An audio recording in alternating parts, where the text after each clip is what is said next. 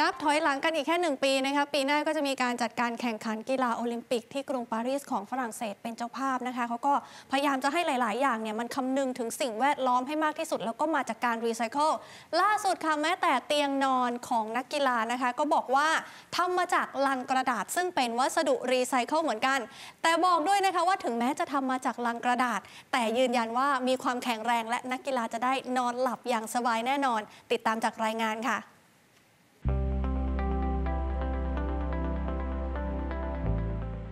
ผู้จัดการแข่งขันโอลิมปิกฤดูร้อน ปารีส 2024 ที่จะแข่งขันกันระหว่างวันที่ 26 กรกฎาคม ถึง 11 สิงหาคมปีหน้า ได้เปิดตัวเตียงนอนสำหรับนักกีฬาโอลิมปิก ที่ทำมาจากลังกระดาษแข็ง ที่สามารถถอดและประกอบได้อย่างง่าย ซึ่งการใช้วัสดุรีไซเคิลอย่างกระดาษแข็ง จะช่วยลดปริมาณขยะ เพราะหลังจากที่การแข่งขันโอลิมปิกจบลง เตียงกระดาษเหล่านี้ ก็จะถูกนำไปใช้ประโยชน์ต่อ โดยการส่งต่อให้องค์กรการกุศล และเพราะวัสดุที่ใช้เป็นลังกระดาษ ซึ่งมีน้ำหนักเบาทำให้การเคลื่อนย้ายทำได้สะดวก และไม่ต้องใช้คนจำนวนมาก ส่วนเบาะของเตียงนอนทำมาจากฟูก3ส่วน เพื่อรองรับน้ำหนักของศีรษะ หัวไหล่และเอว โดยฟูกสำหรับนักกีฬาจะมีขนาดที่แตกต่างกันไป ตามสรีระของนักกีฬาแต่ละคน ซึ่งเมื่อนนักกีฬาเดินทางมาถึงที่หมู่บ้านนักกีฬาในวันแรก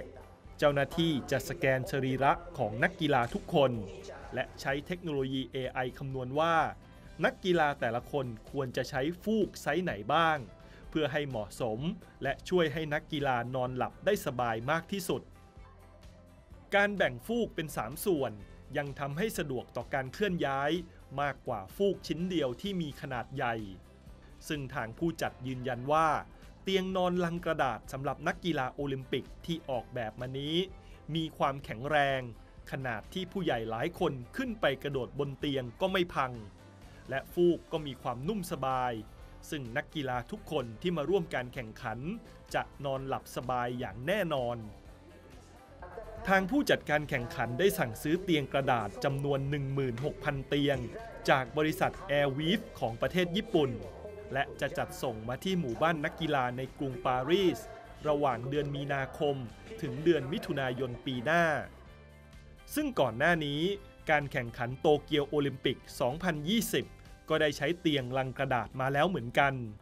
ซึ่งในตอนนั้น เตียงสามารถรองรับน้ำหนักคนได้ 3-4 คน แต่ทางผู้ผลิตได้พัฒนาเตียงให้มีความแข็งแรงเพิ่ม และสามารถรองรับน้ำหนักคนเพิ่มได้อีก 2 คน